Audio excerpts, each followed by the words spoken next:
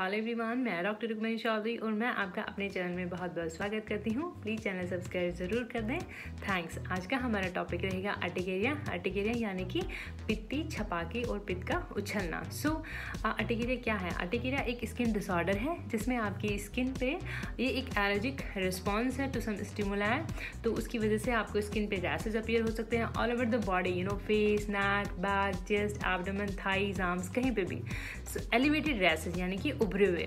सो so, अब बात करते हैं हम इसके टाइप्स की कैटेगरीज की कि ये दो टाइप का होता है। Number one is acute number two is chronic acute जो अर्टिकुलर रैसेस होते हैं वो डिसअपियर होने में टाइम ले लेते हैं। यानी चार घंटे का इवन कुछ डेज़ और कुछ वीक्स भी वो ले लेते हैं to disappear on the basis of that number one is आपका अगर वो रैसेज छः से आठ हफ़्ते तक रहते हैं टाइम ले लेते हैं तो वो एक्यूट कैटेगरी में फॉल करते हैं।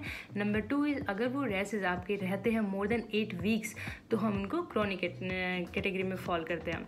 So these are the types अब हम बात करते हैं इसके कॉजेज़ की। क्या कॉजेज़ हैं जिसकी वजह से आपको ये प्रॉब्लम होती है। सो so, हम इनको फाइव रिस्क फैक्टर्स और कॉजेज़ में रखते हैं। नंबर वन पे आता है आपका ईडियोपैथिक यानी ज़रूरी नहीं है कि आपको आ, इसके पीछे कोई कॉज मिले।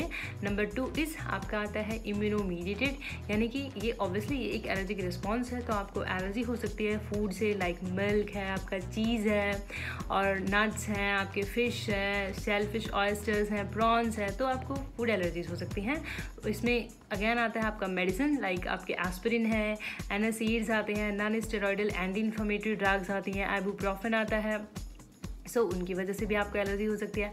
Number three is non immuno mediated जिसमें ऑपिएट्स रखते हैं। Number fourth is environmental provocations यानी इन्वायरमेंट यानी कि आपके वातावरण में चेंजेस होने की वजह से भी आपको ये प्रॉब्लम हो सकता है। जैसे कि अगर बहुत ज़्यादा कोल्ड वेदर है बहुत ज़्यादा हॉट है बहुत ज़्यादा हीट है इन्वायरमेंट में और सन एक्सपोजर से इवन फ़िज़िकल एग्जेशन जिसको कि हम you know skin writing dermographism कहते हैं। फ़िज़िकल एग्जेशन की वजह से you can write on your skin अगर बहुत ज़्यादा एलर्जी की रिएक्शन है तो। और इसमें आता है आपका इन्वायरमेंटल में अगेन आते हैं, आपके स्ट्रेस आते हैं, आपके इंसेक्ट बाइट्स आते हैं बी स्टिंग्स आते हैं। So number fifth is non specific जिसमें कि आपका इन्फेक्शंस आते हैं, जैसे बैक्टीरियल इन्फेक्शंस है वायरल इन्फेक्शंस है।